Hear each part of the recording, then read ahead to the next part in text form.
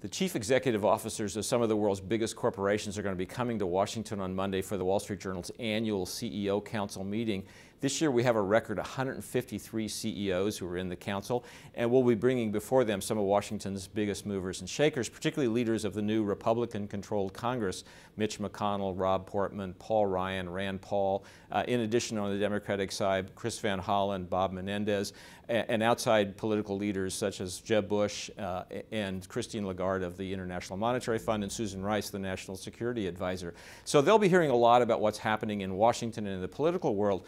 But at gatherings like this, it's sometimes more interesting to hear what the business leaders are saying to Washington, not just what they're hearing from Washington. My guess, based on current uh, conversations and past experiences, these CEOs will deliver, be delivering their own message to Washington that will have three big parts. The first one will be give us some predictability. No more government shutdown threats, no more threats of going off a fiscal cliff or of defaulting on America's debt.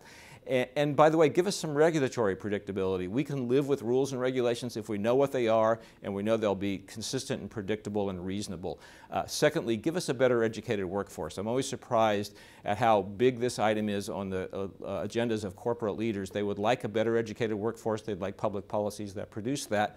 Uh, and so I think we'll be hearing some of that as well. And third, and I think this will be a loud call, give us corporate tax reform. Everybody agrees the corporate tax rate is too high. There's a bipartisan agreement on that. This country needs a better corporate tax system to be competitive.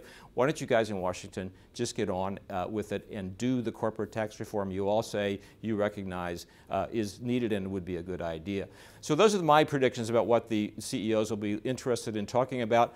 We'll hear from them more and know more uh, Monday and Tuesday of this week. And you can watch it all unfold uh, through video on WSJ.com and through updates on WSJ.com in print as well.